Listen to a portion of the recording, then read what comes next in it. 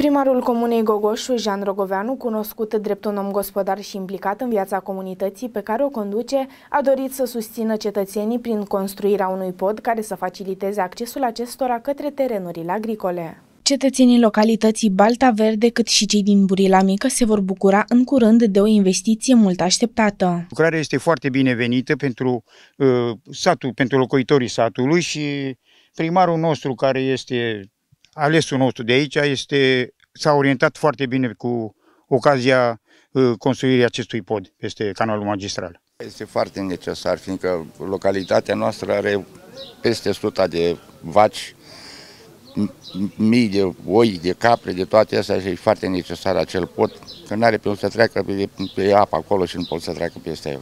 Face legătura între sat. Face legătura între sat și câmpul pășunatul, unde se duc cu pășun, la pășunatul oile și vacile și tot.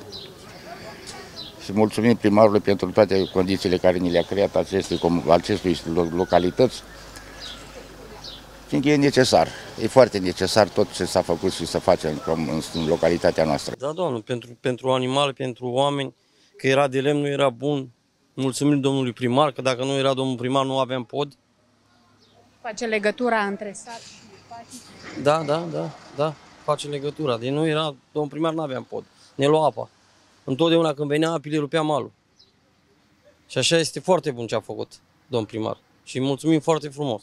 Primarul Comunei Gogoșu, Jean Rogoveanu, și-a arătat de-a lungul timpului interesul pentru bunăstarea cetățenilor. Investițiile sunt multiple, iar condițiile de trai a celor care locuiesc aici sunt unele dintre cele mai bune. Mai avem câteva investiții aici în Balta Verde, după care trecem în satele celelalte să, să le dezvoltăm pe toate celelalte. În Balta Verde avem în desfășurare o lucrare aici cu un pod nu știu dacă aveți timp să treceți să luați câteva imagini și de la pod. Avem un pod în lucru și în, uh, și în Burila Mică și avem determinat asfaltare aici în Balta Verde. Zic eu că tăbărâm pe, pe constructor să o termine anul ăsta. El are termen anul viitor, dar tragem de ei să, să o termine mai, mai repede.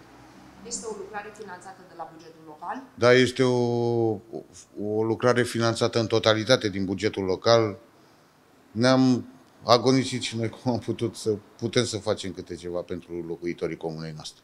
Banii pentru această lucrare au fost alocați doar din bugetul local datorită primarului Jean Rogoveanu, care și-a dorit ca cetățenii să poată ajunge la terenurile agricole, sigur și rapid, pentru a nu mai fi nevoit să facă un ocol semnificativ. O investiție benefică pentru că se ocolea foarte mult de la uh, muncitorii care își aveau pământuri acolo, proprietarii terenurilor.